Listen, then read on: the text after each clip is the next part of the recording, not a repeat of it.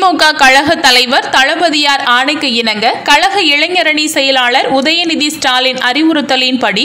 நெல்லை மத்திய மாவட்ட திமுக செயலாளர் அப்துல் வஹாப் வழிகாட்டுதலின்படி கொரோனா நோய் தொற்று காரணமாக நடைமுறையில் உள்ள ஊரடங்கு ஆரம்பம் முதல் தொடர்ந்து செய்து கொண்டிருக்கும் மக்கள் சேவையில் தாழையூத்து